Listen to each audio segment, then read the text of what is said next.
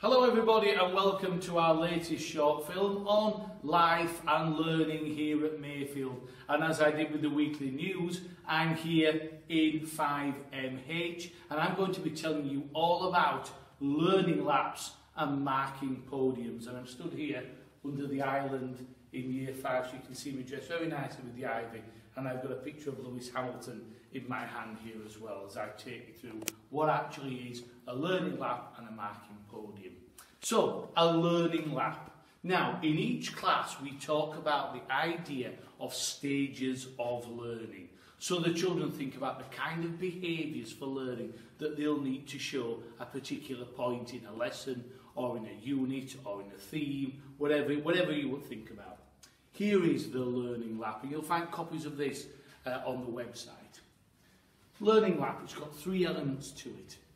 Part one is the green phase. We call it GTK. That means get to know. That's all about absorbing new learning.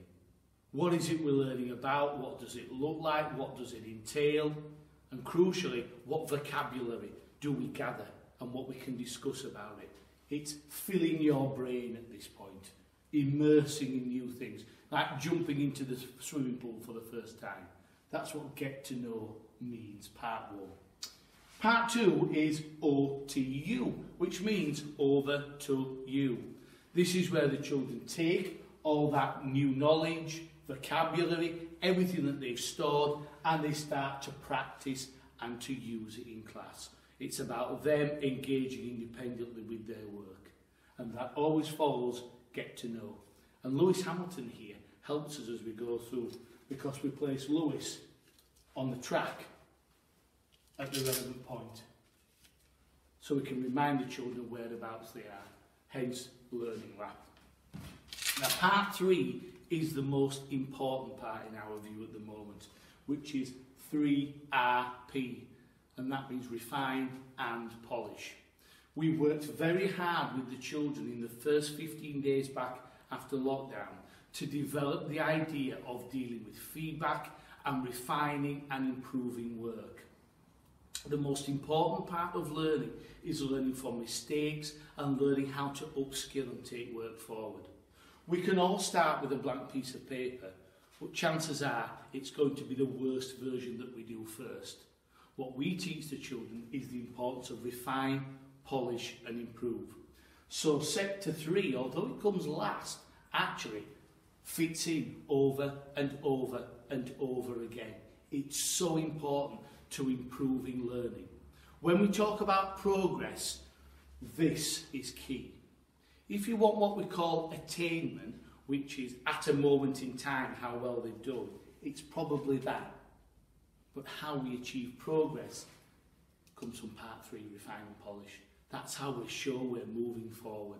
And our maths, our English, our when I grow up work is all built around this learning lap principle.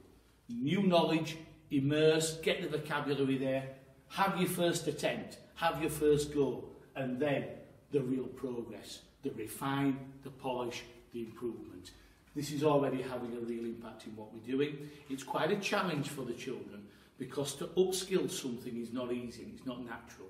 It's not always the easiest thing to respond to feedback or to marking, but it's absolutely essential. And the children are gradually getting used to that cycle. And we've spent a lot of those first 15 days back on refine and polishing readiness for the summer term. So if you ask your children about Learning Lap, this is the Learning Lap. And we've got the checkered flag there, which denotes right, that's the end of that particular section. And that's Lewis Hamilton's role in our school. So I'm going to put him on refine and polish at the moment. There we go. Learning Lap. Move this way. Elsewhere in class, we've been pushing the importance of marking. Now, teachers for, for generations I've got to mark everything that moves. But actually, marking is about the right style of marking at the right time. Making sure that the feedback that we give to children is always useful and is always acted upon. It's very easy to mark everything in the same way, to tick it and give it a stamp and say well done. But it's got to be useful for learning. Otherwise, it's just a dead activity. So what we've devised is a three-step marking podium, which has bronze, silver and gold, just as it would at the Olympic Games. Bronze marking is what we call no frills marking. That's basically when we check all the children have set out their work correctly, they've met our, our core expectations, and they achieve a tick and a reward for that. The sort of marking that just requires checking. We call it no frills marking. And it has a place, particularly early at the get to know phase, the green stage, when we're just absorbing what we need. Second stage is the silver marking, what we call verbal marking. Very much underrated, but very, very, very important. This, whilst being ever present through every lesson, is also deployed at the end of certain lessons that don't require the detailed writing up of things in a book. The sort of lesson that might be stored in our big books, our speaking and listening books, where the teachers will have used verbal next steps. Now, this is particularly useful in early years and year one, where the children have more direct verbal feedback. What we're doing is formalising that and using it more directly all the way through school. And then the daddy of them all, the gold standard, the action marking.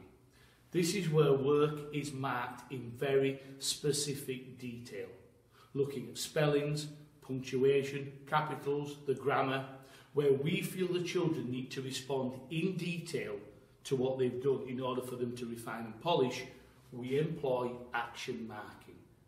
So teachers then can plan carefully and I check that they've done this. When they're going to use bronze marking and for what purpose. When they're using verbal marking, the silver marking and for what purpose. And when they're using the gold marking, the action marking. And crucially, why are they doing that? So it isn't just one style of marking for everything. It's very, very carefully thought out and thought out with the children's next steps in mind. Is it the end of a process? If it is, it's usually bronze. If it's a sort of activity that hasn't been in a book, always within a lesson, it may well be silver verbal. And then, if it has an important next step that links to progress, because you're going back and doing it again and again, it requires the action marking. Structured marking, very carefully chosen. And next week, we have a chart here which is shared with all of our children. And this chart here is used through school and it's the action marking codes. And it features Key Stage 1 and it features maths and it features English. So we have the whole six years on there. I say six years because, of course, the approach to marking in early years is largely verbal. So therefore, there wouldn't be the need for action marking in writing. So we have a system that's in use for action marking and the podium itself. And tomorrow I'm going to be talking to some of the children across school about what they understand about marking podiums and learning laps so they can tell me that their teachers have been working on it regularly and say, well, it means this, it means that, it means that. So that's my way as head teacher of checking that the children are frequent with it and understanding it and using it effectively. So that's another part of Mayfield school life. Next time we'll show you another aspect of our new innovative ideas and their impact that they're having upon learning. Take care and we'll see you all soon.